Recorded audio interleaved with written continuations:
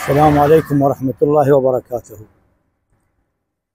اليوم أقول لكم قصة قصة حقيقية ما عدا الأسماء أسماء الشخوص في هذه القصة أسماء مستعارة للحفاظ على الخصوصية.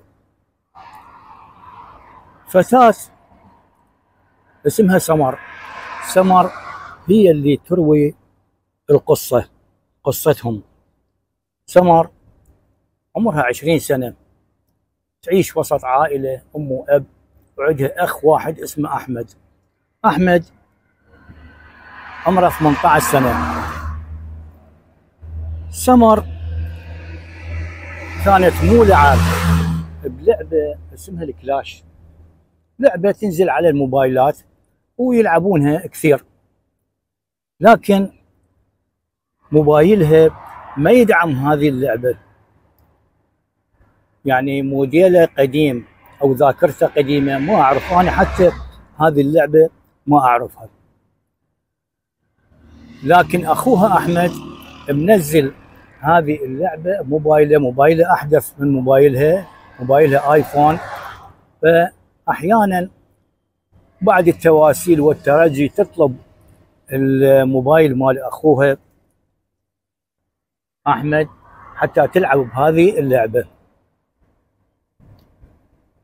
أحد الأيام سمر كانت طالبه الموبايل مال أخوها وتلعب بهذه لعبة الكلاش. أخوها أحمد قال أنا راح أدخل للحمام أريد أسبح.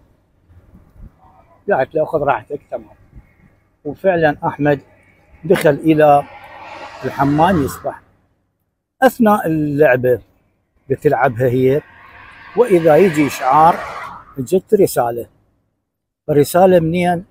من خالته الأحمد. يعني خالتها سمر.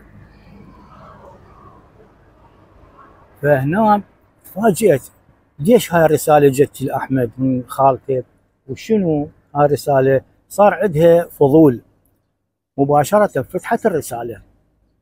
فتحت الرسالة وإذا شوف خالته كاتبت له زوجي ما موجود حاليا تعال للبيت. أريدك حالا تجي للبيت. تعجبت من هذه الرسالة؟ شنو؟ شو تريد من عنده؟ وليش حالا يجي؟ معقولة؟ زين. ودت تكتب له يعني بالرسالة كل كلمة حبيبي وما أعرف شنو. استغربت من هذه هذا الأسلوب. صار عندها فضول أكثر.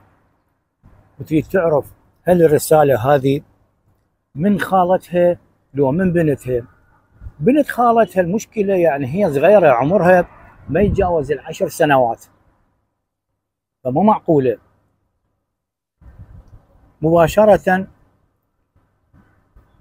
عندها طريقة هي تعرفها. أولا أخذت سكران للرسالة وبعدين استغلت فرصة وربطت الموبايل مال أخوه أحمد ويا موبايلها بحيث أي رسالة تجي لأحمد أو أحمد يرسل رسالة لخالته تجي بموبايلها وبعدها حذفت هذه الرسالة من خالتها اللي جاية. لكن شغلت تفكيرها وظلت تفكر شنو هذه الرسالة وليش تكتب له بهالطريقة هذه؟ حبيبي وما حبيبي. طلع أحمد من الحمام انطته الموبايل ماله.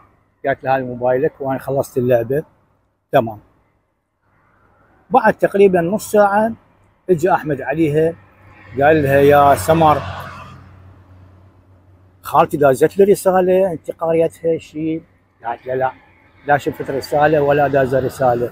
ليش خو ماكو شيء قال ها لا ماكو شيء بس هي يمكن دازت رساله قالت له ماكو ما جت الرسالة ما شفتها طبعا خالته متصلة بي اتصال قالت له أنا دزيت لك رسالة وأنت فتحتها الرساله بس ما جاوبتني. ليش ما جاوبتني؟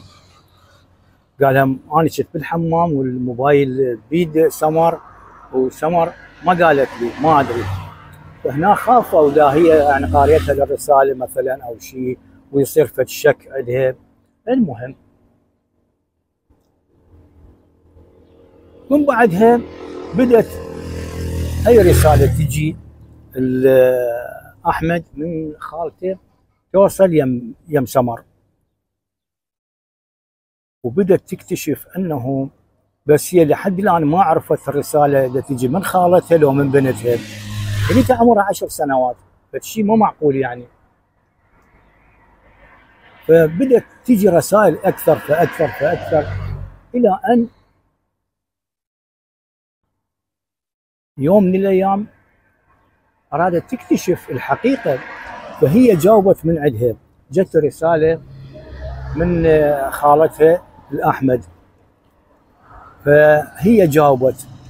بمكان أحمد تليفون هم قالت لها الخالة قالت لها طيب فلانة موجودة. بنتش موجودة. بالبيت. فجاوبتها خالتها وكأنها ما تجاوب أحمد. قالت لها ما لك علاقة بيها.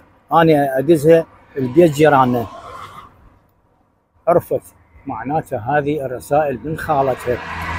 وخالتها كل مراسلاتها حبيبي وكذا إلى أن يوم من الأيام أحمد طلب من خالته قال لها أريد تلبسي لي الملابس الفلانية وتاخذي لي صور بها وترسلي لي إياها. أنا يعجبني أشوفك بهذه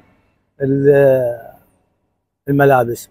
طبعا بالمناسبة خالة أحمد عمرها تقريبا 30 سنة وعندها ولد وبنيه الولد كان صغير.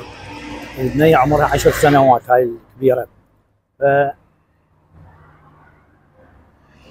بعد ربع ساعة تقريبا هي تتابع جتي صور وصلت أيضا إلى سمر. خالتها ماخذة صور بهذه الملابس اللي هو رادها. كلها كانت هذه الصور والرسائل. تاخذ لها سكرينات وتحفظها في لابتوب عندها.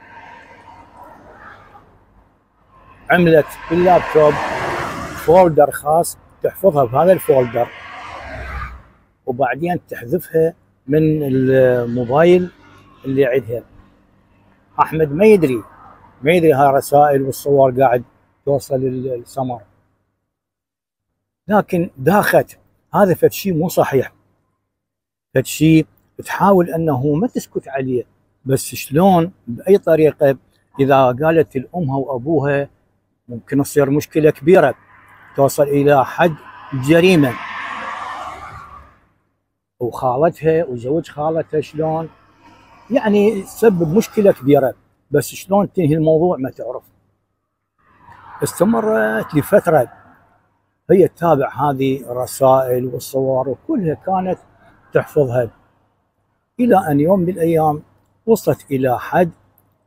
قالت ما ممكن أني أسكت وما ممكن يعني أني أترك هذا الأمر يبقى مستمر. هذا مو صحيح لأنه كان راسل أحمد رسالة إلى خالته يقول لها الخالته يقول لها حبيبتي البارحة أنا شلون كنت وياك ووضعي وياك؟ وفد كلام أنا ما أقدر احكيه فد كلام يعني به نوع من البذاءه والسفالة والسقوط. خالته تجاوبه برسالة تقول له أنت كنت كلش كيوت وكلش مضبوط وحلو ومدري شنو ومن هالأمور هذه والحبيات وما أعرف إيش. اضطرت بعدين لزمت أخوها أحمد وتكلمت وياه وقالت له يا أحمد أنت اللي تعمله هذا عمل خطأ. وهذا يسمونه زنا المحارم. للأسف الشديد إحنا بالفترة الأخيرة بدينا نسمع هذه التسميات اللا أخلاقية هذه التسميات اللي حتى بعض الحيوانات ترفضها وهي زنا المحارم. شنو زنا المحارم؟ ما كنا نسمعها سابقا. ما أعرف يعني ليش توصل لهالدرجة هذه السقوط الأخلاقي. خالته أخت أمه يعمل ويا هذا العمل وهي شلون تقبلها؟ وهي متزوجة وعندها أطفال. هذا بالله خلينا نقول الشيطان أغراه وما متزوج وشاب صغير لكن هي متزوجة وأكبر من عنده وعمرها 30 سنة. ليش؟ المهم أحمد بالبداية نكر ويا أخته قال ماكو شيء وعيب عليك أنت. قالت له كل الرسائل والصور موجودة عندي وماخذت لها السكريانات وحافظتها.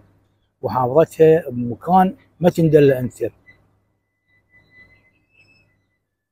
بالأخير تعهد لها قال أنا راح أترك الموضوع هذا واعتبري هذا الموضوع ما صاير لأنه هددته قالت له أنا راح أقول للأمي والأبويا وأشوفهم اياها هاي الرسائل. فتعهد لها أنه يترك الموضوع هذا وكأنه أي شيء ما صاير. بنفس الوقت راحت البيت خالتها وتكلمت ويا خالتها قالت لها يا خالة أنت أكبر من عندنا وأنت هذا عمرك يعني 30 سنة تقريبا متزوجه وعندك ولد وبنيه مو عيب أنت تعملين هذا العمل ويا أحمد وهذا أحمد هو ترى يعني شاب صغير وهذا بعده مراهق. نكرت قالت لها لا تنكرين أنا كلها موجودة عندي. الرسائل والصور وانطتها بعض العلامات اللي يعني تثبت لها أنه أنت دزيتي له صور حسب طلبه بالملابس الفلانية وكذا ملابس داخلية يعني. وأنت دزيتي له الصور والصور محفوظة عندي كلها. آخر شيء خالتها وعدتها أيضا أنه تترك الموضوع هذا وكأنه أي شيء ما صاير مقابل أنه تستر عليهم ومقابل أنه تسكت على هذا الموضوع. ولهنا وينتهي الموضوع نهائيا. للأسف الشديد ما أعرف يعني أنا أحكي بالنسبة لنا إحنا كعراقيين بالعراق هل هو شعب ما مؤهل أنه يستخدم الموبايل؟ شعب ما مؤهل أنه يستخدم الإنترنت؟ بدا يستخدمه بشكل خاطئ؟ بشكل فاضح؟ ليش؟ يعني أنا أذكر بال 2003 في بداية تغيير النظام بالعراق. على الحدود الأردنية كانوا يجون إسرائيليين وجايبين وياهم آه الستلايتات اللي كنا نسمع بيها ما شايفينها. الستلايتات والصحون ويوزعونها مجانا. هل هم يعني خايفين علينا؟ يردون يثقفونا يردون ينطونا. لو يردون يفسدون الأخلاق. وفعلا نجحوا بهذا الأمر. فسد أخلاق أكثر الشباب والشابات للأسف الشديد لأنه ناس ما مثقفة ناس ما مؤهلة إلى هذا الأمر وبدأوا يستخدمونه باستخدام خاطئ. نصيحة إلى كل الآباء والأمهات أنه يراقبون أبنائهم وبناتهم وأنا متأكد وأعرف كثير ما راح يعجبهم هذا الكلام. لأنه هذا ربما ما يصب بمصلحتهم وكثير من هذه الألعاب اللي موجودة هي ممكن أنه تسحب المستخدمها إذا كان ما عنده ثقافة عالية تستخدمه إلى استخدام خاطئ وراح تجره إلى أمور مو صحيحة. هذه نهاية القصة. أستودعكم الله الذي لا تضيع عنده الودائع. والسلام عليكم ورحمة الله وبركاته.